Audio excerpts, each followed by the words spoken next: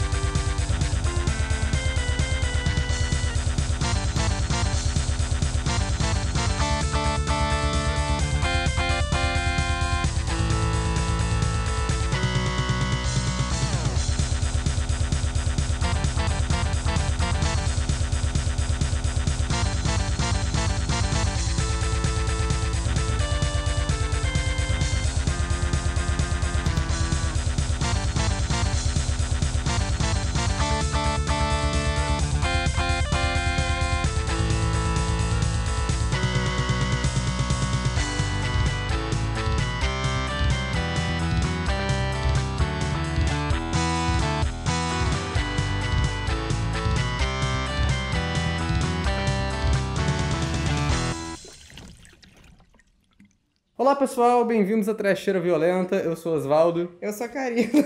e hoje a gente voltou para mais uma lista estúpida, mais um vídeo de Shark Week, 13 filmes estúpidos de tubarão, parte 5, totalizando agora 65 filmes de tubarão. Pelo quinto ano seguido.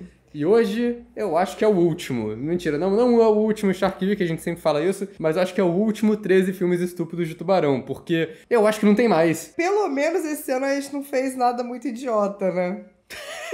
Até o ano passado eu tava aguentando de boa. Você desistiu depois do segundo. Você jogou pro alto e já falou, já odeio tubarão e tudo mais. Eu- até ano passado eu tava aguentando. Esse ano, um filme eu nem terminei. Um eu tive que assistir acelerado. E teve um monte que eu tava só fazendo conteúdo de heavy metal nas redes enquanto assistia, porque não tava dando mais. Deixa eu te falar que pra mim a experiência foi um pouco diferente. Ah, Esse ano não foi tão torturante pra mim. Não porque os filmes foram melhores, não, não isso. Mas é porque, não sei, eu acho que eu já tô mais cascuda e a gente começou a ver com intervalo de tempo maior, então eu não precisei ver quatro filmes no mesmo dia. Soma-se a isso o fato de um eu ter visto 10 minutos, que eu falei não precisa.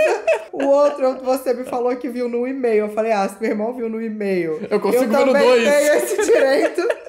Eu posso ver no 1,75 tranquilamente. No geral, assim, no balanço geral, eu não, não odiei tanto, não. A experiência, né? Dos filmes eu já não posso dizer o mesmo. E eu acho que é isso, né? Tipo, a gente vai falar de 13 filmes agora, então não vamos, não vamos ficar estendendo muito mais essa introdução, né? Vamos só pedir pra vocês se inscreverem no canal se vocês não forem inscritos ainda. Comentem aí embaixo se vocês já assistiram algum desses filmes, eu duvido muito. Acompanhe a gente nas redes sociais, os links estão aí embaixo na descrição do vídeo. Também acompanhe meu canal secundário aqui no YouTube, né? Que é o Osvaldo Marque, meu nome. Lá eu tô fazendo umas lives jogando alguns jogos. Da última live que eu fiz foi jogando Maniter, o jogo de tubarão, que você é um tubarão. E, eita. E você não dá pra ver nada com essa merda. Se você gosta do nosso trabalho aqui na Trecheira, seja membro. Quando você é membro, você ganha acesso a conteúdo exclusivo, vê uns spoilers aqui do que a gente tá fazendo aqui no canal, escolhe alguns filmes que a gente vai falar aqui nas votações. E também apoia a gente, que é muito importante, né? Porque quando você apoia a gente, a gente consegue trazer coisas novas aqui pro canal, fazer umas presepadas a mais. É, também vou liberar uns spoilers que ninguém liga pra esses filmes que ninguém liga. E é isso, né? Vamos começar essa lista. E o primeiro filme é um que a gente foi muito marcado no ano passado, quando ele saiu. É o Cocaine Shark, dirigido pelo grande Mark Poloni. A gente já decidiu começar esse ano falando desse, que foi muito comentado. O filme foi feito pra ir na onda do Cocaine Bear, né? O urso do pó branco, que lançou ano passado e foi um sucesso e tiveram vários imitadores. Karina, qual que é a trama do Cocaine Shark? Ao invés de falar trama, eu vou começar falando que o Cocaine Shark é um grande golpe. Porque primeiro que o filme começa, e aí começa uma trama de laboratório, que aí estão testando coisa no tubarão, e aí o tubarão tá ficando muito grande, muito esperto, uma coisa meio do fundo do mar. Só que em nenhum momento tem a cocaína. Olhei aquilo e falei, não, tá esquisito isso. Aí o que, que eu fiz? Fui pesquisar sobre a produção de Cocaine Shark e descobri que Cocaine Shark é um filme que já estava pronto, que ia ter outro título. Mark Polônia, muito antenado nas tendências do marketing, mudou o nome para Cocaine Shark. Né, não tem, não tem tubarão cheirado nesse filme. Não tem. E isso me deixou muito chateada. É. Esse filme abriu com uns bons 10 minutos de stock footage. Era só imagem de banco de dados e de vez em quando ele colocava uma coisa do tipo: essa cena está acontecendo num parquinho. Era um banco de dados de um carrossel girando e aí um dos vários amigos do Marco Polônia no fundo preto com uma luz piscando na cara para fingir que ele tá no mesmo lugar. Eu odiei muito esse filme. Eu odiei também. E assim, é um stock footage que às vezes é, ia para uns lugares óbvios. Uma narração assim de algum policial falando: a SWAT invadiu um lugar, ia para um stock footage tipo dos caras com a arma assim andando, sabe? Era bem um stock footage literal de umas coisas que os personagens estavam falando, que é quase Lars von Trier. O que eu acho que diz mais sobre Lars von Trier do que sobre Mark Poloni. Aí você falou uma verdade. Mas a trama desse filme, ela tem uma história de armação, que tem um cara que tá numa cama de hospital narrando uma história que aconteceu como se fosse um filme no ar, do tipo, ele é um policial infiltrado que tava narrando como foi ele se infiltrar na gangue desse cara, e toda a narração dele parece que ele tá em outro plano espiritual, porque colocaram um efeito de eco muito etéreo na voz dele. But they weren't going to let me think. Problema desse filme é que ele não tem personalidade. Ele não grita Mark Polônia. E é muito diálogo expositivo, é muito repetitivo. É um filme muito chato, né? É, ele tenta ser mais filme de crime do que de tubarão e a trama não faz sentido nenhum. Eu não entendi o filme. Eu não entendi com Kane Sharp.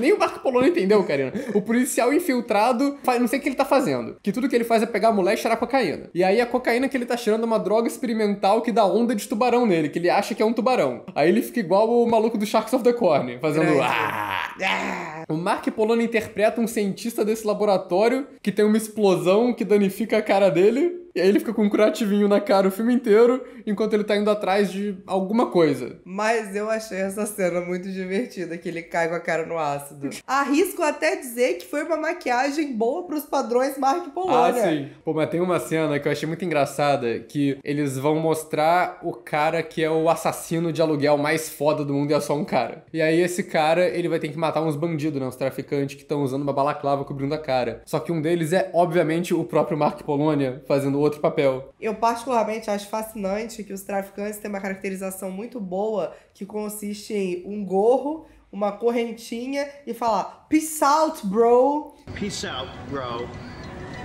E aí, no começo do filme, eles falam que o laboratório deu ruim, que escapou um monte de monstro. Tem um tubarão que é metade caranguejo, sem motivo nenhum, que é o vilão principal desse filme. Aí tem um tubaromem, talvez seja o próprio protagonista que vira o tubaromem quando ele toma a droga, mas essa parte também não entendi. E o outro é um morcego esquisito, que ele só fala, tipo, ah, uma criatura meio morcego escapou também. Que eu, inclusive, acho que foi reaproveitado de Chárcola. Então, eu- ele nunca mais aparece nesse filme. Eu acho, baseado nos outros filmes do Marco Polônia que a gente vai falar ainda, que ele tá tentando conectar o filme de tubarão dele pra meter um universo expandido. Então eu acho que é o bicho do Chárcula e provavelmente esse tubarão é de outro filme dele também. É possível, porque todos os filmes do Mark Polônia dessa lista tem coisa reaproveitada de outros filmes dele. Todos. Mas aí também a gente também diz, talvez esteja dando crédito demais pra Marco Polônia. Às vezes ele só reaproveitou porque já tinha. Mas eu gostei muito do Tubarão Caranguejo. Inclusive, o nome original do filme era Crab Shark. Faria muito mais sentido. É, mas aí ele quis colocar Cocaine Shark. Aí não tem condição, amor. Crab Shark não teria viralizado. Mas é aquela coisa, né? Cocaine Shark viralizou. Quantas pessoas de fato viram Cocaine Shark? Eu arrisco dizer que ninguém. Porque não é dito o quanto esse filme Não é. não é Cocaine Shark. A única parte que eu achei engraçada mesmo é que tem a personagem da garota que mora na ilha e ela tira uma foto do tubarão caranguejo e ela fica achando que é coisa da cabeça dela. Aí no final, quando os outros personagens aparecem falando, ah não, é um monstro real que existe, ela fica felizona e começa a jogar os remédios dela fora. Essa cena eu passei mal de rir. E eu sei que a galera tá se perguntando, cadê o melhor amigo do Mark Polônia, né? Que é o grande ator Jeff Kirkendall. Nesse que ele aparece numa reportagem. É um noticiário que não faz sentido, porque se tem uma coisa recorrente também em filmes do Mark Polônia, são noticiários que não parecem nada com o noticiário real. Tem uma repórter que tá numa janela recortada, que não ocupa a tela inteira, e aí aparece um depoimento do Jeff Kirkendall falando alguma coisa, e ela começa a entrevistar o depoimento. É um filme muito chato, que mal tem tubarão, e que o, o verdadeiro tubarão são os remédios que dão a onda de tubarão. A gente começou com uma decepção aqui, e vão vir outras, né? Mas vamos pro próximo, que é um filme chamado Alien Shark. Eu me diverti muito vendo Alien Shark. Você foi a única pessoa que pode falar isso na Terra. Alien Shark é sobre um grupo de amigos que tá na praia. Só que aí os aliens querem. O que os aliens querem? Os aliens querem dominar a Terra, sei lá, é uma coisa, não, não importa. Os aliens querem dominar o planeta Terra e eles encontraram nos tubarões as criaturas mais mortíferas possível para isso acontecer. Que é até esperto, porque a Terra tem 70% de água. O que eles não pensaram é que a população não mora na água. O filme começa com um meteoro caindo na Terra, e aí tem umas mulheres andando na praia, elas encontram uma pedra brilhante verde. Todos os ataques de tubarão no filme são isso. A pessoa fica hipnotizada com a pedra, vai andando pro mar, afunda e nunca mais aparece. Mas eu achei isso legal. Eu nunca vi filme de tubarão que a pessoa se joga meio que de oferenda. Eu achei diferente. A trama Alien é incompreensível, não faz sentido, e o tubarão Alien é um modelo de 3D de tubarão muito zoado, muito do basicão mesmo, que eles só pintaram o olho de verde. E eu acho engraçado que eles até fazem uma parada espertinha, já que o olho verde é o que define o Alien tubarão. Eles pegam imagens de bancos de dados de tubarões de verdade e fazem um tracking com uma bolinha verde lá para substituir o olho dele. Então isso, pelo menos, foi interessante. Em alguns momentos ele não funciona, mas tem, na maioria das vezes que funciona é legal. O Alien controla mentes também, né? Mas nada é muito justificado aqui. Isso porque boa parte do filme não tem nada a ver com a trama Alien. Boa parte do filme é a reunião das amigas numa ilha deserta. Foi aí que esse filme me conquistou. Porque a reunião de amigos eu achei muito engraçado. Eu achei os personagens muito engraçados. Tem a protagonista militar, tem a amiga influencer, que agora é um tipo de personagem novo de filme de terror que tem em todos. Tem a amiga que ela é toda tilelê, mas ela tem um drama que ela é muito gostosa. Sim. E ela fica, ai gente, eu, eu só quero ficar na paz, mas eu sou muito gostosa. E aí a outra amiga é a amiga desagradável que convida o ex e o amigo dele para vir pro rolê junto. E aí ela tá tentando pegar o ex dela, mas o ex não tá mais interessado nela porque ele quer pegar a protagonista. É aí é que o filme me conquistou. Não há pessoa no mundo que me convença que a protagonista não é um sapatão e que o cara não é uma bichona. E ele, inclusive, na minha fic, tem um caso com o Ben Margera viado lá, que é o amigo dele. Boa parte do filme são só esses jovens conversando, tendo diálogos muito longos sobre coisas irrelevantes. Eles estão no primeiro dia na casa, e aí o Ben Margera pega pra beber uma cerveja e falam, pô, cara, é nove da manhã. E eles têm toda uma discussão sobre beber às nove da manhã. Eu falei, pô, vocês estão de férias, maluco. Bebe nove da manhã, foda-se. O roteirista de Alien Shark acha que ele é o Tarantino. e aí ele faz uns diálogos, assim, tipo, tem uma cena que eles discutem Sex and the City. Tipo, Sim. ai, quem você seria em Sex and the City? E eu amei, eu achei tudo. E a amiga que tem muitos problemas por ser gostosa, ela decide fazer um ritual de cristais. E nesse ritual de cristais ela invoca o Alien Shark nela mesma. E eu acho engraçado que é tipo ela com o Alien no corpo, jogando as pessoas pra longe com o olho verde. E a galera falando, cara, ela bebeu demais. Tá muito bêbada. Tá doidona. Mas é aquilo, né? A gente lembrando desses momentos eu acho engraçado, mas o filme no geral eu achei muito chato, que é só um monte de gente conversando na praia e de vez em quando acontece uma coisa gloriosa, assim, do tipo o alien vomitando um alienzinho que é um cachorro tubarão, e aí o cachorro tubarão ataca as pessoas, que é tudo visto no ponto de vista dele, né, pra não ter que mostrar efeito, e depois que eles matam o bicho, eles ficam olhando. Nossa, que bicho é esse? Obviamente é um cachorro com cabeça de tubarão. Eu falo, ah, não sei, talvez seja uma fauna local. Os malucos começaram a beber nove da manhã, fala, dá um desconto. A batalha final do filme é a militar e o peguete pintoso dela estão lutando contra um tubarão de computação gráfica imóvel na praia. E aí o tubarão fica invisível. Porque eles falaram, cara, não vamos ficar animando essa porra o tempo todo, não, né? Vai dar maior trabalho. Aí o tubarão fica invisível pra, pra protagonista só ficar lutando com o ar na praia. E aí no final ela pega uma concha, a nave alienígena explode. Sei lá, não entendi porra nenhuma desse filme. A lutinha dela tem uma hora que ela, que ela chuta a onda, é muito engraçado. Então a gente vai agora pro terceiro filme que tem dois nomes, como todo filme bom. Ele se chama Trailer Park Shark, mas ele foi renomeado para Shark Shock. E é um filme que foi dirigido pelo Griff First, que é um desses diretores contratados do Sci-Fi, já dirigiu uma porrada de coisas de tubarão. Esse é um filme que, ao contrário de boa parte dos filmes de tubarão, que a gente já tá num nível muito baixo aqui, ele tem alguma coisa ali pensada de visual, né? Porque ele quer fazer essa coisa bem caipira, de rio, então é um filme que tem uma correção de cor quase toda pro marrom, que pega essa coisa bem tipo da, do rio de lama. E ele tem algum orçamento, já dá pra ver, né? Que ele tem, tipo, muitos cenários customizados, né? Que é um trailer park que o filme se passa, que foi inundado. Então, tipo, é um monte de cenário de coisa na água. E eu achei surpreendentemente bem dirigido. A cena que apresenta o trailer park no começo é um plano sequência, acompanhando os personagens andando, muito bem coordenado, indo, tipo, de um trailer pro outro, acompanhando um monte de ação diferente, tudo muito bem feito. E, assim, eu fiquei surpreso com esse filme. Eu gostei muito dele, principalmente porque ele me passou passou uma vibe John Waters dirigindo filme de tubarão. Porque ele tem uma coisa ali de white trash e ele tem muitos flamingos rosas no chão o tempo todo. que se isso não é uma referência, eu não sei mais o que, que é. E ele tem um humor que funciona até também, na maior parte do tempo. Tem uma parte que são bem constrangedoras, né? A primeira cena dele eu já acho constrangedora. Que é aquela coisa. Vocês devem estar se perguntando como eu vim parar aqui. Aí É, eu falei, ai, meteram não. essa. E foi daí pra cima. O que pra esse tipo de vídeo, né? Normalmente é só fundo, fundo, fossa Mariana. Pra mim, o pior momento de comédia foi quando a garota tá em cima do trailer, ela começa a ser eletrocutada, e aí ela, eletrocutada, começa a dançar Macarena. Ai, isso é terrível. Mas ao mesmo tempo tem muita piada boa. Eu adorei o personagem do cowboy. Ele é muito bom. Ele é muito bom. Coitado, ele perdeu o cavalo. O tubarão come o cavalo no começo, e aí no cantinho do plano tem as duas perninhas do cavalo falsa, que tem algum dublê batendo ali como se o cavalo estivesse na boca do tubarão. É muito bom.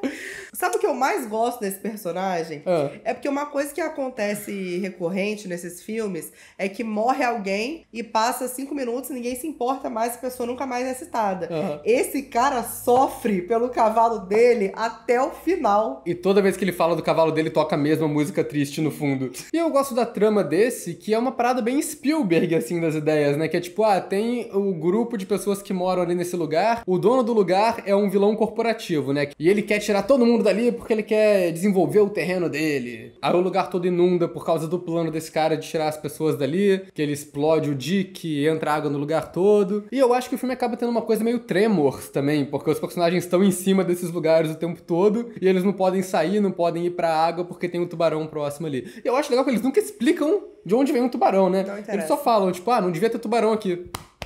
Foda-se, tem. E o tubarão, ele é um tubarão de computação gráfica tosco, normal, mas ele tem uma característica que é diferente de outros, porque no começo o protagonista, ele tenta matar o tubarão dando choque nele. Mas ao invés de matar, ele só dá poderes de choque pro tubarão. E aí o tubarão consegue desativar eletrônicos e dar choque nas pessoas. E é muito idiota, mas funciona. O protagonista eu achei bom, que ele é um cara inteligente, que queria fazer um plano lá de levar energia de graça pro parque de trailer lá deles. E ele sempre arranja soluções boas, engenhosas lá pra trama o tempo todo. Mas eu acho que ele ainda é um filme que sofre muito de ser um filme do sci-fi, né? Porque ele apresenta muitos personagens que não servem pra muita coisa. Eles têm uma ou duas piadas e depois são engolidos por um tubarão sem muita cerimônia. Inclusive a Tara Reid tá no filme, fazendo uma personagem que acontece exatamente isso. Eu acho a personagem dela engraçada porque ela é a doidinha. E a caracterização dela é ter uma Maria Chiquinha, tipo a Chiquinha, uma mais pra cima, uma mais pra baixo. Tá falando em personagem, tem outra cena engraçada que tem o cara que é o crente. E eu ri muito quando ele tá desesperado fazendo uma oração.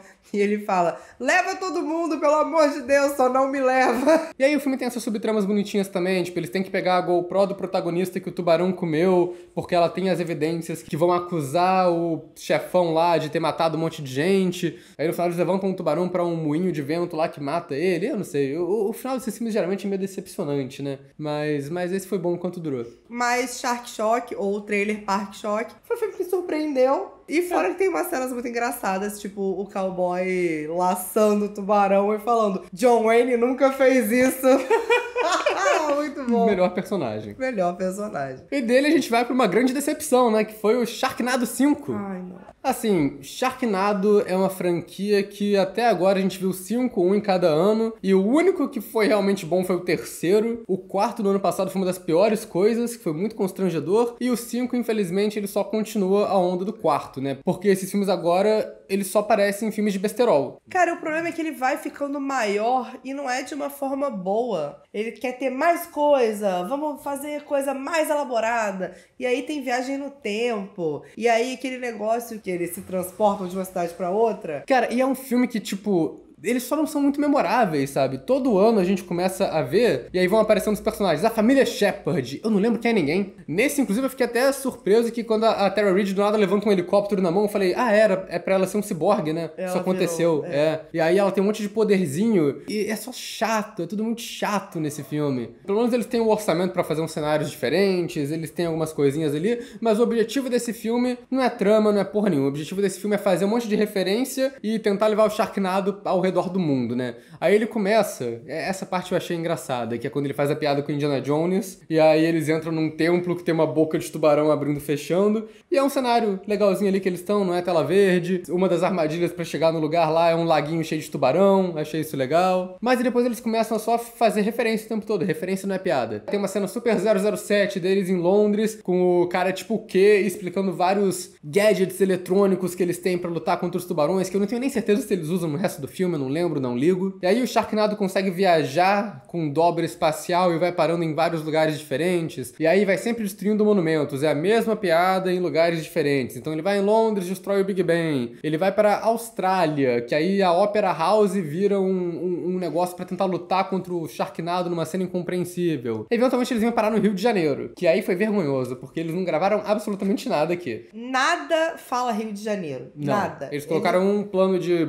banco de dados do Cristo e foi isso. A cidade parece um faroeste abandonado. E o nome dos estabelecimentos é tudo ou em inglês ou em espanhol. Cara, até o pôster que tem bandeira do Brasil tá escrito em inglês. Tinha Duran Duran, que eu não sei o que, que era, Friendly Barber, Market, e aí no meio disso tinha Drogaria Descontão. E aí, quando eles vão pra Itália, eles realmente foram pra Itália gravar ceninha na Fontana de Treve. Aí, ah, Fontana de Treve a gente vai gravar, mas no Rio que se foda. É. E aí, como eles têm que ser globais também, né? Tem que ter todos os continentes. Eles metem uma cena no Japão, que um monte de tubarão se junta pra fazer um Godzilla de tubarão, que é completamente incompreensível e sem graça. E aí tem uma reportagem na África falando, ah, tá rolando um safari nado aqui na África. É, é, foda-se. E outra coisa que sempre rola nos filmes do Sharknado são as pontas de famoso, né? Que são mais uma piada, mais uma referência sem graça. Nesse daqui teve o Brett Michaels, vocalista do Poison. Tem uma cena que aparece, tipo, a presidente da ONU ou alguma coisa assim, que é a Nichelle Nichols, a Uhura do Star Trek original. E quando eles estão na Austrália, eles falam, ah, a gente tem que chamar alguém pra ajudar agora. E aparece o Tony Hawk, que também é americano. Então, tipo, por quê? Por que ele tava na Austrália dando rolê? Porque ele é... Não, não, não faz sentido. Eles só queriam colocar o Tony Hawk no filme, tá ligado? Sabe que eu tô rindo? Ah. Que as suas referências de famosos são completamente diferentes das minhas. Os famosos que eu vi no filme que eu achei muito engraçado. O Fábio, a Tiaro, que é também uma personalidade da mídia, que é, tipo, ela aparece muito em RuPaul. E a Tiffany Pollard, que é maravilhosa. O que, que, que eles fazem no filme? Ah, pontas. E a parada é que nenhum desses personagens que aparecem tem chance de fazer alguma coisa, porque é só uma ponta rápida, tubarão come, acabou. Essa tem graça, é a mesma piada o tempo todo. Ah, não, nenhum desses três apareceu mais que três segundos. Não, e até quando acontece um personagem que aparece pode ser interessante, tipo, tem uma cena que eles entram num dirigível steampunk com um doutor doido, assim, tipo, coordenando a parada, e você fala, porra, isso é maneiro. O dirigível bate imediatamente no tornado, um tubarão come o doutor, acabou. Aí a trama é completamente incompreensível, eles têm que salvar o filho que tá preso dentro do Sharknado e tá indo ao redor do mundo, viajando por Sharknados. No final, todo mundo morre. E todo mundo mesmo, tá ligado? É o mundo inteiro. O mundo acabou. O protagonista fica sozinho no mundo pós-apocalíptico de computação gráfica. E o filho dele aparece como a única pessoa que sobreviveu, só que agora ele é velho e é interpretado pelo Dolph Lundgren. Mas para mim, esse filme é tipo Vingadores Guerra Infinita do Sharknado, que termina com todo mundo morrendo. Eu só falei, maneiro, bom final, não preciso ver mais. Morreu todo mundo, acabou. Mas é mentira. É, eu não vi o Vingadores Ultimato até hoje. Pra mim acabou no Guerra Infinita. Todo mundo virou pó, foda-se. Pra mim acabou no Vingadores 2. Os próximos dois filmes são o que eu chamei de Barbenheimer de Tubarão. O primeiro desses é um filme chamado Atomic Shark, que também tem dois nomes, também é conhecido como Saltwater,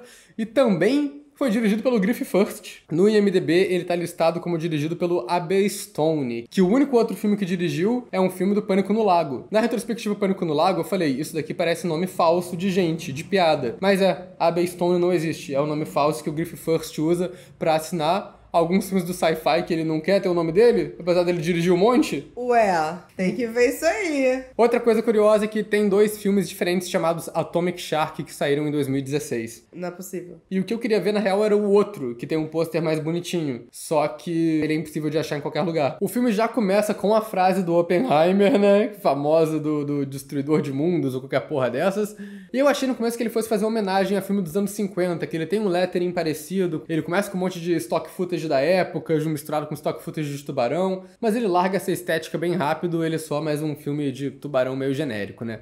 Os protagonistas são monge de salva-vidas numa praia. Essa foi a primeira coisa que me incomodou nesse filme. É que os personagens, ninguém tem personalidade. O protagonista é o cara com a perna zoada, que a caracterização dele é que ele tem um drone. Ele até usa o, o, o drone dele de maneira esperta para ajudar as pessoas na praia, mas aí tem o chefe burocrata dele que acha um absurdo ele usar o drone e que demite o cara e quebra o drone dele depois de demitir o cara, que eu achei um absurdo. Porque esse chefe é, é o cara mais insuportável do filme. Ele faz coisas do tipo obrigar as pessoas a entrar na água quando tá com risco de tubarão. Ele é o pior salva-vidas que eu já vi. E a morte dele também acontece muito do nada, muito rápido, não é satisfatória. A protagonista é a menina bióloga, que é salva-vidas também, acha que tem alguma coisa esquisita na praia porque tá aparecendo um monte de peixe morto. Tem a garota influencer também, sempre tem. É a mesma piada de sempre, que é tipo, ah, ela não vai ver o que tá acontecendo de emergência porque vai estar tá mexendo no celular. O único personagem que eu achei decente aqui, mas é porque eu gosto do ator, foi o Jeff Farrey, o ator de Lost, né? Fez o piloto Frank Lapidos em Lost, mas também faz uns filmes do Robert Rodrigues, tipo Machete e Planeta Terror. O Jeff Farrey, ele faz o pescador experiente, é um tipo de Quint com desconto ali. E tem uma reviravolta de que ele é o pai da protagonista e que a gente consegue ver essa vindo desde a primeira interação entre os dois. Quem é a verdadeira estrela desse filme é o tubarão atômico, que pelo menos é um tubarão bem único. Ele tem um modelo mais deformado ali pela radiação,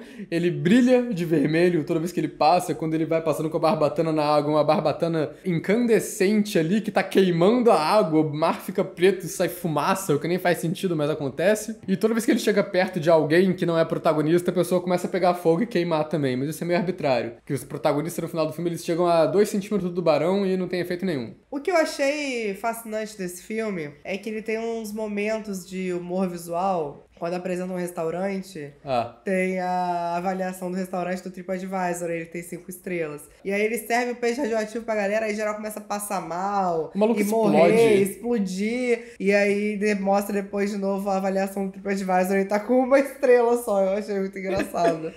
Não, e essa cena eu achei um absurdo porque chega um influencer, blogueiro, pra comer a comida do restaurante e avaliar. E a equipe de produção começa a mandar todo mundo calar a boca, tem que ficar em silêncio porque o cara vai gravar. E aquelas pessoas, elas não concordaram com isso, elas não estão lá, tipo, ah, vou ser figurante. Elas estão lá no restaurante na moral. Aquela mulher não tem direito nenhum de mandar ninguém calar a boca pra ela gravar. Eu ia mandar ela tomar no cu e continuar falando, sabe? com certeza. Mas aí tem uns humor visual meio constrangedor também, tipo, tem a cena que a influencer tá tentando avisar um cara que tá tubarão vindo na água, e ele tá, tipo, reagindo com emojis, porque ele tá achando que ela tá dando em cima dele. É constrangedor demais. Eu ri. Eu acho que é nessa cena que mostra a visão do cara e aí a razão de aspecto do filme muda. E aí começa a tocar uma música meio o clone. É. Cara, é muito engraçado. E aí fica como se a Moira tivesse ela fosse a Jade na areia. E eu falei, gente, que porra é essa? O outro salva-vidas vai atrás do tubarão. E aí a razão de aspecto muda ao contrário. Ao invés dela ficar quadrada, ela fica mais retangularzinha. E aí começa outra música, nada a ver também. É, toda vez que esse cara vai atacar, vira uma trilha de ação, uma coisa épica, mas aí não acontece nada. No final ele vira um filme incompreensível, um monte de gente num barco tentando que matar o tubarão com uns planos que não fazem sentido. E no final o tubarão acaba que explode sozinho. Ele fica encalhado numa ilha, tem uma grande explosão atômica que a nuvem de fumaça vira um tubarão. Isso eu achei engraçado. Foi muito bom. Foi muito bom. Isso foi cinema. Esse filme acabou com chave de ouro. Se esse filme agora foi a parte Oppenheimer, o próximo é a parte da Barbie, e é o Doll Shark, o tubarão boneco do Mark Polônia. Esse é um filme bem clássico Mark Polônia, né? Que a maior parte do filme é gente conversando, com um visual horrível, nada acontece, mas nos momentos que alguma coisa acontece é engraçado. O Doll Shark é um bichinho de pelúcia que, por causa de um dente de tubarão que tá escondido nele, ganha vida. Ele é muito bonitinho, ele é muito bem feito, ele parece o mal do Castelo Ratimbum. E ele tem momentos de transformação, que ele tem o bicho normal e quando ele transforma no tubarão assassino, ele vira outro bichinho de pelúcia mais bolado. Mas é uma trama muito exagerada também, que é engraçado, que aí o pai, ele no começo do filme tá numa tela verde, que é pra ser um porto chuvoso onde ele mata o tubarão, A chuva é igual de Sin City. Mas é engraçado porque o Mark Plonner sempre grava nos portos, não sei porque que ele deixou esse de tela verde, mas ok.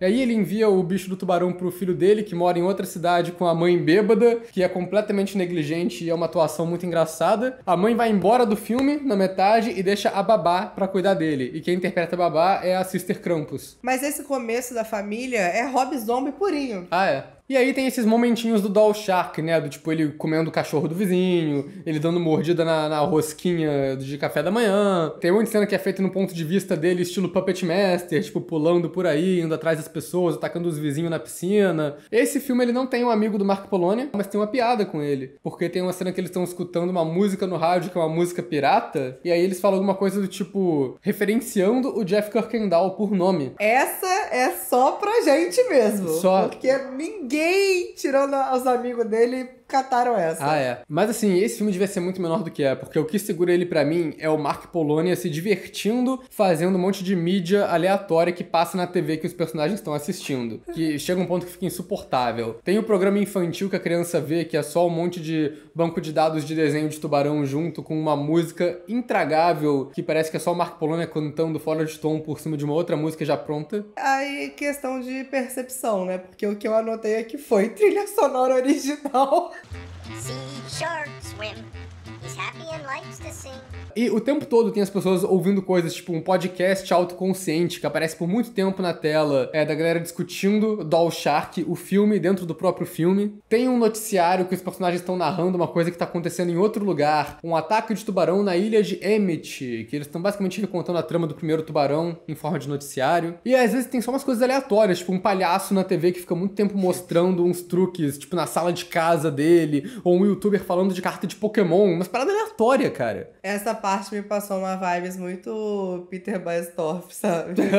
Aí tem um ladrão que invade a casa e é atacado pelo Doll Shark, mas tem muito tempo do ladrão roubando coisas completamente aleatórias, tipo produto de limpeza ou um DVD, sabe? Tipo umas paradas que não são muito valiosas. Eu, eu gosto muito do Doll Shark, mas pra mim o resto desse filme é muito chato. Eu nem lembro o que acontece no final. O pai chega pra salvar a criança e mata o tubarão com uma lança. E aí tem um policial que só fica vendo tudo acontecer e fala, eh, Não tem um policial que cheira calcinha no meio? Talvez, não lembro. O próximo filme é Ozark Sharks, que é dirigido pela Misty Talley, que é uma diretora também dessas do sci-fi. Com esse filme agora, Caína, a gente zerou a filmografia da Misty Talley. Tem quatro filmes, os quatro são de tubarão. Ozark Sharks é sobre uma família que vai fazer uma viagem nessas montanhas e aí tem tubarão. Não tem, não tem muito o que falar além disso. Eu gostei bastante desse. Eu acho que foi talvez um dos mais carismáticos, um dos filmes com mais personalidade nessa lista, porque os personagens são bons. Assim, ele já começa como qualquer filme de tubarão, né? Que é grupo de jovens festejando no meio do, do lago. E aí tem uma cena que é muito bizarra, que o cara vai flertar com a garota e ele fala, tem uma coisa pra te mostrar. Aí ele tira uma daquelas velas de bolo de aniversário que brilha, dá pra ela e ela fica maravilhada, como se nunca tivesse visto aquilo na vida. E aí quando ela vai mostrar pros amigos, ela descobre que foi todo mundo comido por tubarão. É porque essa Mona com certeza já tava querendo pegar esse cara há muito tempo. Não, ela, ela não E quer aí? pegar esse cara. Ela tá dando fora nele nessa cena. Mas aí tem personagens legais ali da- do grupo da família, né? Que tem a menina gótica e tem o seu namorado, que é namorado dela, que é o menino insuportável que foi de penetra no rolê e fica reclamando de tudo. Mas o resto da família eu achei de boa. Os pais são de boa, o irmão é de boa, que ele tá querendo ir no rolê pra chavecar umas garotas, mas ele também quer passar o tempo com a família dele. É, e ele é a pessoa que mais movimenta a trama, né? Eventualmente ele encontra a garota da introdução presa lá em cima do galho e ajuda ela. Eles viram um casal no resto do filme. Qualquer lugar pode ser Tinder, né? É. Sempre a conclusão que a gente chega aqui. E tem a personagem da avó, que é muito simpática, mas que a gente sabe que vai rodar, porque os avós sempre rodam nesses filmes. Mas eu fiquei triste, sabe por quê? Porque a avó rodou igual um pedaço de bosta e ninguém se importou. E aquela cena, né, que é tipo, a véia tava com água na canela e foi atacada por um tubarão que devia estar aparecendo ali, né? Porque é, é- é o grande problema desses filmes, que é esse corpo de água não tem profundidade pra comportar isso tudo de tubarão. Mas pra mim, o melhor personagem foi o cara do Pesque Pague, que é o maluco completamente preparado para a invasão de tubarões, que tem uma cabana cheia de armas improvisadas. E nisso eu achei até um design muito foda do filme. Eles pegando coisas tipo um tridente feito com várias facões amarrados. E aí tem armas tipo armadilha de urso elétrica, remo que dá choque, uma arma que atira chifre de cervo. O maluco é um gênio que inventa um monte de arma aleatória, assim, tipo, é muito bom. E essas armas, elas são muito bem aproveitadas pra matar Sim. os tubarões ao longo do filme. Então é muito legal, não é uma parada que tá ali à toa. A que eu achei mais legal é que ele tem uma arma que é igual o Junk Jet do Fallout, basicamente. É uma arma que atira tudo que você conseguir colocar nela. E aí usam no final pra atirar fogos de artifícios nos tubarões. O que eu até achei um pouco decepcionante, porque eu queria ver eles atirando coisas aleatórias, sabe? Tipo, é, bola, Uma sei lá, régua. tipo, uma régua, é, umas paradas assim, produtos de praia, sabe? Atirar um guarda-sol no tubarão, um monte de coisa aleatória. Seria engraçado, mas eles atiram só fogo de artifício mesmo. O tubarão desse filme é o clássico. São os tubarão de computação gráfica nível sci-fi, não tem muito o que falar sobre isso. Mas o que eu acho legal aqui é que tem muitas cenas de morte legais e cenas de morte de tubarão legal também, né? Que a galera mata os tubarões de jeitos épicos. E a morte do, do namorado é a melhor do filme. Muito boa. Ele tem a ideia de usar as ferramentas pra puxar o tubarão da água e botar o tubarão no moedor de carne. O triturador de madeira, que é um bagulho grande. É, Mesmo objetivo. O problema do triturador de madeira é que você enfia o negócio e a madeira sai. E aí os dentes do tubarão saem e vão no peito dele, assim. O que eu honestamente acho que não era pra ele morrer, porque era um, parecia um ferimento bem superficial. Mas se o filme falou, a gente acredita. Eu acho ótimo essa cena do tubarão entrando no triturador de madeira, porque mostra, tipo, as pessoas aleatórias, os transeuntes que estão ali, todo mundo reagindo com nojo, mas a família protagonista tá felizona que eles conseguiram matar o tubarão. Eu achei engraçado. Começa a chover sangue, a menina igual o V de vingança, assim, na chuva. Só que é sangue de tubarão caindo. Fora que devia ter uma caatinga naquilo. Que, nossa senhora. Mas é, eu achei que foi um filme bem criativo, assim, até onde vai. Design maneirinho, muitos personagens carismáticos, armas diferentes pra lidar com o tubarão, eu gostei. Ozark Sharks surpreendeu. Uma lista realmente que segue surpreendendo, né? Então vamos pra um que, olha, esse surpreendeu de verdade.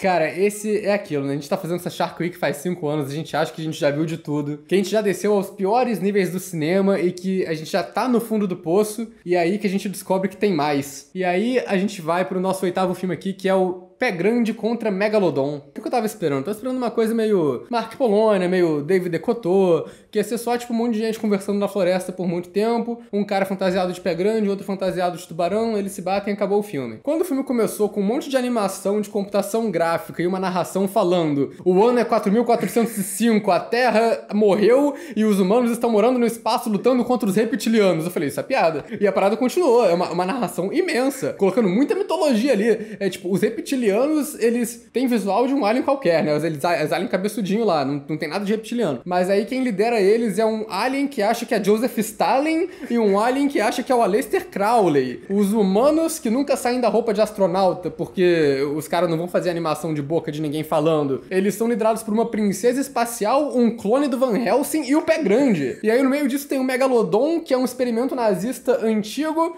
que voltou à tona pra se vingar dos humanos que destruíram a Terra. O quê?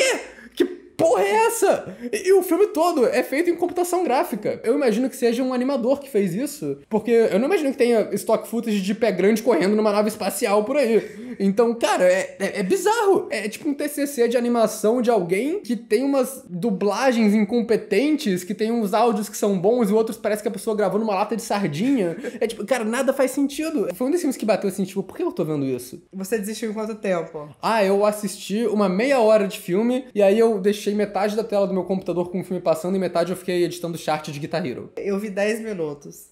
e aí eu olhei aquilo e eu falei. Isso é golpe. Isso é o meu irmão metendo Star Trek no meio da Shark Week. Eu não vou cair nessa armadilha. Não vou ver o episódio de Star Trek que tem tubarão e o Aleister Crowley e a princesa. Não quero. Você não deve nem ter chegado nos diálogos horríveis, porque o filme ele só vai colocando coisa. Tem uma hora que o clone do Van Helsing vai trocar uma ideia com o Ra, o deus do sol, pelo computador, e ele começa a pedir conselho amoroso, e o Ra começa a falar umas paradas tipo, põe o pau na mesa, mulher é foda, irmão. Uns diálogos horríveis. E só vai aparecendo coisa, do nada tem um Terminator, do nada aparece Dr. Jekyll. É tipo, é uma grande fanfic. É é uma salada mista bizarra que eu falei, cara, eu não quero, eu não quero tá vendo isso. Eu larguei antes de acabar. Eu- eu- faltando 15 minutos pro filme terminar, eu desliguei. Porque tem aquilo também, né? Apesar do choque inicial e da bizarrice, o filme é um trambique. É completamente insuportável. O Megalodon e o, e o Pé Grande nem se encontram no filme. Eles não lutam. E parece isso, que o cara ele quis fazer uma animação fanfic de saga espacial bizarra dele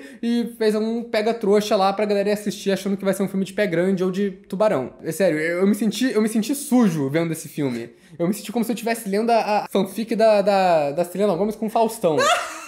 Foi, foi horrível, horrível. E o próximo filme também foi outro que não foi muito fácil, né? Ele é o Super Shark, que saiu em 2011. Eu acho que é o mais antigo dessa lista. Esse filme foi bem decepcionante. Eu achei que fosse ser um filme que o tubarão é um super-herói. Sim. sim. E aí eu falei, nossa, inusitado, gostei. Só que não, ele chama Super Shark só porque ele é grande. E é qualquer filme. Ele é igual qualquer filme de tubarão. Não igual qualquer filme, ele é igual os primeiros filmes do Mega Shark, que não acontece nada e o tubarão mal tá no filme. É filme de militar conversando em submarino, que é o pior tipo de filme que pode ter aqui, tirando uma animação de uma hora e quinze.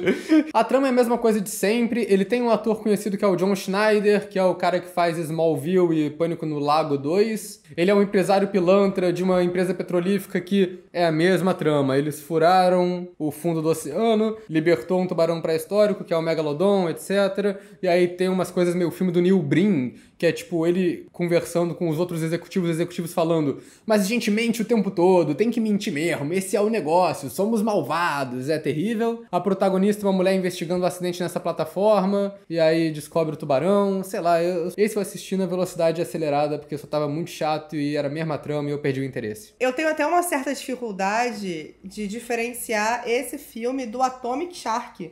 Porque para mim os personagens são idênticos. É, também trama de salva-vida nesse. Que só que a trama de salva-vida nesse é tão irrelevante que ela nem encontra com a trama principal nunca. É um triângulo amoroso, tem duas meninas salva-vida afim do mesmo cara e no final o tubarão come todo mundo. Mas pelo menos a cena é a cena mais engraçada do filme. Essa cena é muito boa. A menina que eu carinhosamente chamei de Lana Del Raya, ela fala: queria estar morta. E aí o tubarão gigante vem e come ela. É muito bom. Cinema. I wish I was dead.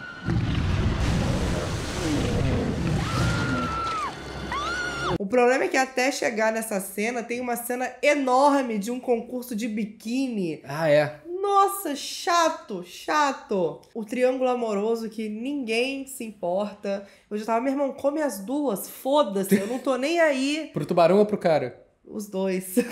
O Super Shark, ele não tem nenhuma habilidade especial, ele não é super nada. Acho que o máximo que ele faz é que ele desativa a rádio. E aí tem um monte de cena de militar atirando nele, que é o final do filme, que é chato pra cacete. A coisa mais engraçada que acontece é que eles pegam, tipo, a super arma do exército. E a coisa menos prática do mundo, que é tipo um tanque com pernas. E aí ele tenta atirar no Super Shark, o Super Shark só derruba o tanque de lado e ele explode. E no final eles só explodem o Super, Super Shark com um tiro também. Então, tipo, ah, foda-se, é um filme sem graça. É o típico filme que talvez em 2011 ele fosse ser mais interessante interessante, porque tava começando e ainda não tinha tudo isso de filme absurdo de tubarão, mas agora ele já tá bem ultrapassado e ninguém quer saber mais dele. E nesse final a gente tá passando mais rápido pelos filmes, pode ser porque a gente tá de saco cheio, ou pode ser porque realmente os filmes menos interessantes apareceram no final, porque agora a gente tem também o Bull Shark 2. Eu odiei esse filme com todas as forças que existem dentro de mim. Obviamente, eu não lembro de nada de Bull Shark 1. Eu também não, eu tive que ver o nosso próprio vídeo para lembrar. Ninguém lembra desse filme. E aí eles fizeram o 2. Gente, é muito fácil fazer filme 2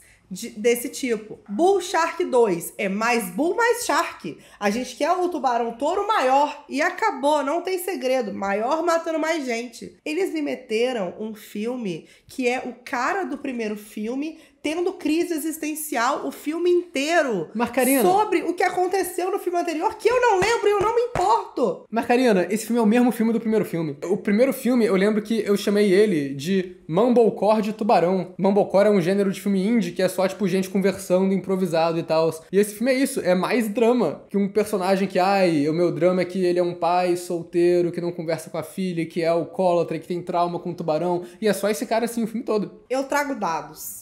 Esse filme tem uma hora e 16 de duração. Eles entraram no barco, já tinha 54 minutos. O confronto com o tubarão aconteceu com uma hora e um de filme. Em uma hora e quatro de filme, o confronto com o tubarão já tinha acabado e ainda tinha mais 12 minutos de filme. O que é engraçado, porque o que acontece é que o protagonista ele tem que enfiar uma seringa no tubarão, e aí o confronto com o tubarão é só o protagonista na água, socando a água, e, e um bonequinho de tubarão que tinha lá. O filme até tem um ataque de tubarão, uma única cena de ataque de tubarão, que é a cena que abre o filme, que foi a única cena que eu ri, porque tem um grupo de amigos, que são as duas amigas, e tem uma amiga que tá deprê porque terminou. E tem um outro cara muito babaca no barco que dá patada nela o tempo todo, e quando ela xinga ele de volta, ele faz uma coisa tipo. já é.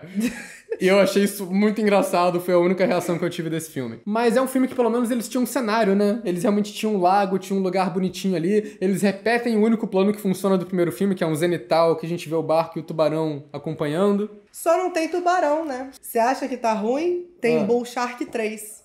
Com o mesmo ator. Deve lançar ainda, né? Nossa, não terá meu view. Mas vai. Não vai, infelizmente. Vai. O próximo filme é o Jurassic Shark 3. É o último filme na lista do Mark Polônia. Esse Mark Polônia fez o favor de começar com uma recapitulação muito longa da trama do anterior, que tem uma pintura valiosa embaixo do lago e tem um tubarão jurássico andando por ali, matando a galera que tenta pegar essa pintura. O filme começa com muitos noticiários fazendo recapitulação dessa história, diferentes, e muitos noticiários mal feitos ao longo desse filme, que acho que o Mark Polônia nunca viu noticiário na vida. A apresentadora tá completamente na sombra e o fundo tá iluminado, e ela começa ao longo do filme, vai voltando nela, ela tá entrevistando sobreviventes dos filmes passados, né? E aí tem um sobrevivente que é o cara usando o chapeuzinho clássico de filme do Mark Polônia, e ele nesse filme tá dando o nome dele, que ele tá gritando, falando diretamente com a câmera, falando: o tubarão vai te pegar, que não sei o quê.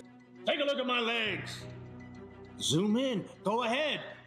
I don't have any. Só que eles gravaram tudo isso com a câmera fazendo um contra-plongé, assim, de baixo pra cima, e aí você consegue ver as fitas crepe pendurando a parada no cenário, você consegue ver o final do cenário ali do noticiário. É, mas aí eu tenho uma pergunta pra você. Ah, Quem faz 10 filmes de tubarão por ano tem tempo de ver noticiário? não tem, não Então tem. vamos continuar. Qual é a trama desse filme, você lembra? Ah, mas o Lelé com cré não bate ali.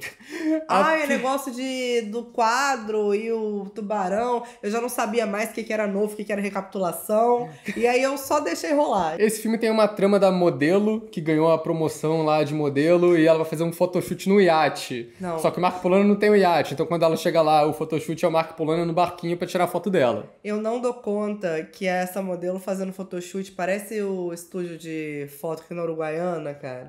é muito trash. Só que aí tem três bandidos, que um deles, que é a bandida mais boladona, é a Jamie Morgan, outra atriz recorrente de filmes do Mark Polônia, aparecem todos aqui. É pra mostrar como ela é uma atriz muito versátil, que geralmente ela faz a nerd, a menina boazinha, aqui ela faz a bandidona. Bandidona sapatão.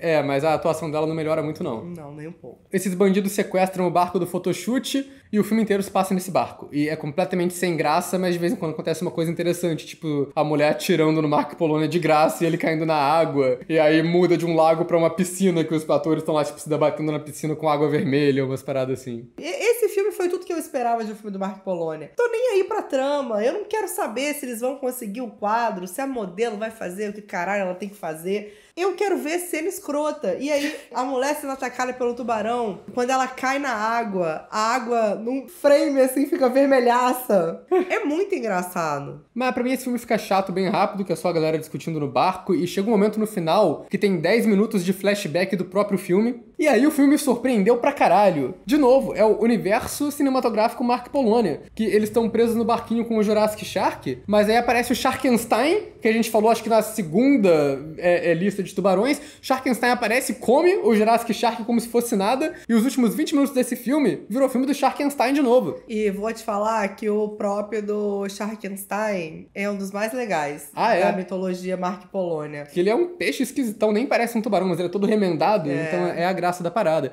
E aí Jeff Kirkendall aparece reprisando o papel de cientista dele lá do Sharkenstein, né? que usa o secador de cabelo pra dar tiro no Sharkenstein.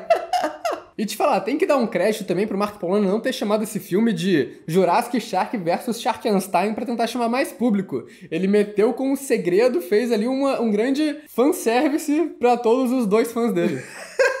Penúltimo filme da nossa lista é outra continuação, é o Ouija Shark 2. O Ouija Shark foi um dos filmes que é da primeira lista de Tubarão e ele tem uma continuação que foi dirigido por um cara chamado John Migliori. Ele foi o co-roteirista do primeiro filme e ele interpreta o pai da protagonista que morre no final. Geralmente, você não dá pra fazer um filme sozinho, né? Você precisa de uma equipe. Mas o John Migliori aqui tentou, porque se olhar nos créditos desse filme, ele tá acreditado como diretor, roteirista, ator, montador, arte, som, câmera, efeitos visuais, figurino e locação. Alguém falou pra ele, John, melhore. E ele melhorou.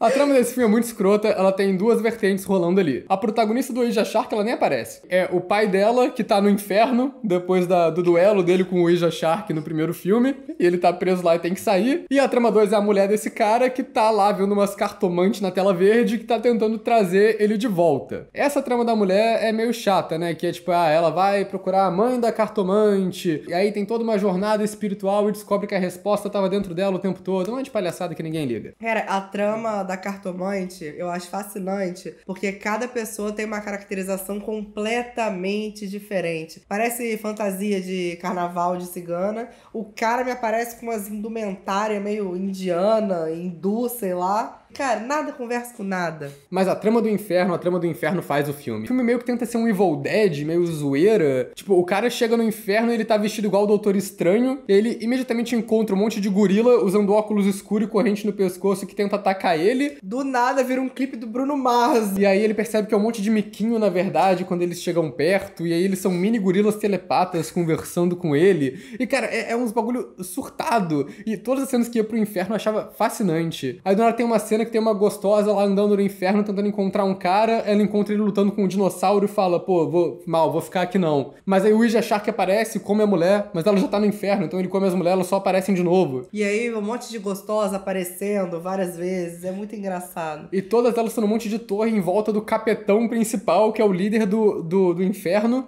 Que é a maquiagem de chifre mais escrota que eu já vi em toda a minha vida. E aí eu percebi que o filme era pra ser um shitpost quando ele começa a fazer um número musical do nada.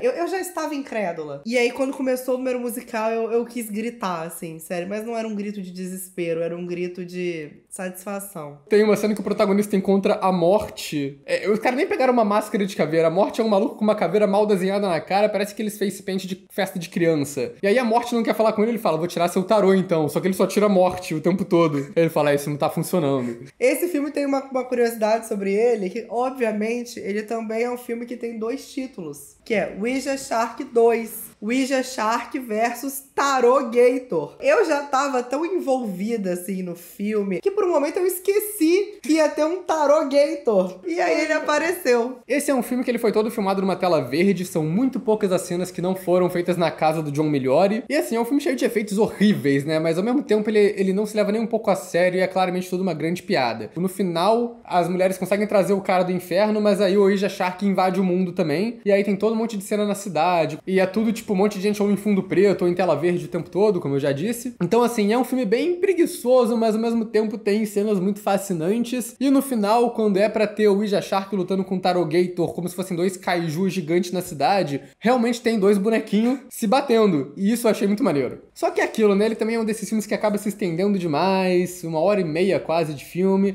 muito longo, e ele termina com uma piadinha meio que estabelecendo como se fosse um filme de super-herói. Ah, eles vão virar o Tarot Force. Tipo, não, melhor não, né? Mas pelo menos esse filme me entregou muito mais super-herói do que o Super Shark. É verdade. A maioria desses filmes é assim, eles são uma ideia que não se sustenta por uma hora e meia. Se fosse meia hora só, ia ser muito melhor. E isso também é a mesma coisa pro nosso último filme. Esse é o Puppet Shark. Que é produzido pelo Brett Kelly, o diretor do primeiro Ouija Shark. Olha Ele só. largou o segundo na mão do John Melhor e foi fazer Puppet Shark, olha só. E aí o Puppet Shark, ele começa com, com uns bonequinhos tipo Muppets, fazendo a historinha de tubarão lá. E aí eu achei bonitinho. A maior surpresa é que o filme era inteiro isso. Não era só uma ceninha de abertura, era o filme inteiro de boneco, de Muppets, contando a história lá do tubarão, um monte de personagem, um monte de coisa acontecendo, tudo em boneco. E foi fascinante até ficar chato, como todos da lista. E eu fiquei um pouco decepcionado que esse filme ele podia ser mais meme do que ele é. Quando eu tava vendo os filmes que tinha lá na Tube pra fazer essa lista, eu achei Puppet Shark, eu falei, isso é o que eu acho que é? Eu passei rapidinho pela primeira cena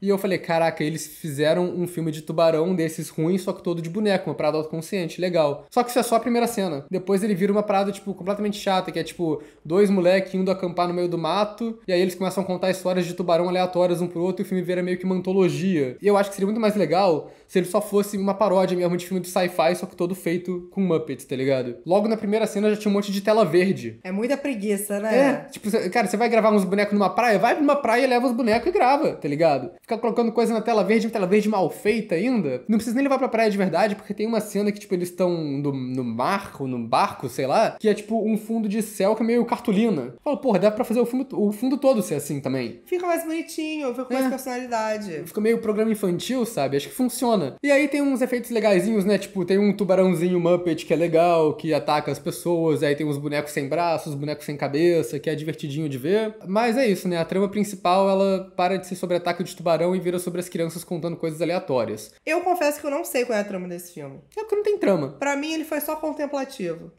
eu achava os hippies engraçado. É, teve os hippies dos anos 60 sendo atacados pelo tubarão enquanto usavam drogas e ficavam numa montagem psicodélica. A segunda história dessa antologia é a história do dentista que vai cuidar dos dentes do tubarão. E tem umas paradas legais do tipo o tubarão narrando enquanto ele ataca as pessoas, que eu acho que é outra ideia que podia ser feita num filme desses, não foi feita ainda, do tubarão autoconsciente falando com a plateia. O In a Violent Nature aí. É de filme de tubarão. Tem uma história que é uma equipe de filmagem, e tá aí outra coisa que a, a Shark Week proporciona, né? Que é found footage de tubarão Muppet é foda. É, Eu nunca achei que eu fosse ver isso. Tem umas piadas autoconscientes eles falando, por que a gente tá sempre andando em floresta? Ah, cara, por algum motivo, hoje em dia, todo filme de tubarão a gente andou em floresta. As pessoas esperam isso. E é engraçado porque a gente sempre reclama disso aqui. E, porra, eu acho que o filme todo tinha que ser isso, sabe? Essas piadas autoconscientes com filmes de tubarão feito com boneco. Ia ser muito mais engraçado do que essa palhaçada conceito que tentaram fazer. O último curta é uma parada tipo em preto e branco de uma sereia que canta e quer ser estrela, mas o agente dela é um tubarão que come gente. Aí no final ela invoca uma baleia que come o tubarão. É, é- é um monte de nonsense. E o filme sabe que é um monte de nonsense porque ele termina com um pescador contando uma história pras crianças, mas aí o pescador tira a cabeça dele e a gente percebe que o pescador era tubarão o tempo todo. E as crianças falam, pô, isso não faz sentido. E termina o filme com uma reflexão falando, "Ah, as pessoas estão procurando sentido demais em cinema hoje em dia, tem que fazer filme nonsense mesmo. O que eu acho ótimo, pra falar a verdade. Eu acho um, um, um ótimo mensagem pro seu filme, só seria legal se o filme fosse divertido, não um saco. Exatamente. Enfim, encerramos a Shark Week desse ano, um Vamos vídeo... terminar de, com um negocinho de novo? Ah, vamos, vamos. Esse foi o Shark Week desse ano. 13 filmes de tubarão aí, um vídeo que provavelmente ficou muito grande. Karina, vamos pro final então, né? Qual foi o melhor filme da leva pra você? Três que se destacaram: Ozark Sharks, Trailer Park Shark e acho que só. ok. Pra mim foi o Ozark Shark, foi o melhor, assim, tipo, disparado. Agora, o difícil. Qual foi o pior? Aí eu é- acho, é difícil eu acho que aqui a gente nem considera o, o, o pé grande contra Megalodon, né? Que, tipo, pra mim aquilo não era nem um filme. Ah, eu odiei muito Bull Shark 2. Pra mim, eu acho que o pior foi o Super Shark, que eu tive que acelerar pra ver. Sharknado 5 foi muito ruim. Teve muita coisa muito ruim esse ano, pra falar a verdade, mas ok. Então é isso, gente. Obrigada pela audiência aí. É, virem membros da Testeira Violenta, porque depois dessa maratona a gente merece. Esse é o último ano da maratona. Chega! Não vai ter mais.